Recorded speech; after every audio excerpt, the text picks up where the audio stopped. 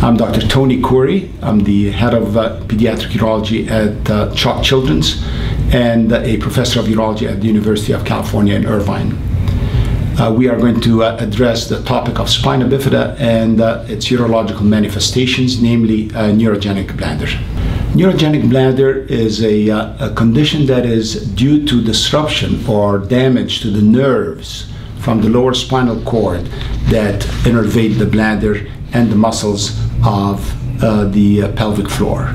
So children with neurogenic bladder have a variety of problems. They have incontinence, they have high pressures, and as a result can have damage to their kidneys from those high pressures, and also recurrent urinary tract infections, which complicates the damage to the kidneys and accelerates it.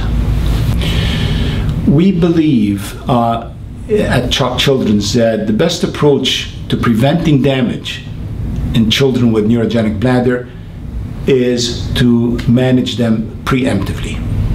By that I mean we don't wait until we see signs of high pressure and dilatation of the kidneys and the ureters and damage to the bladder before we intervene. We assume that every child with a neurogenic bladder is going to develop high pressures and we treat and use preventative measures to prevent that high pressure from happening and thus protect the kidneys and the bladder.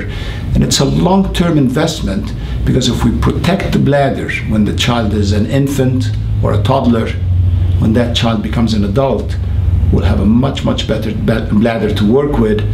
And as technology evolves and bladder pacemakers evolve, I believe that we will be able to have better bladder function if we maintain a normal bladder and if we have the families and our specialists work together towards maintaining the health of that bladder.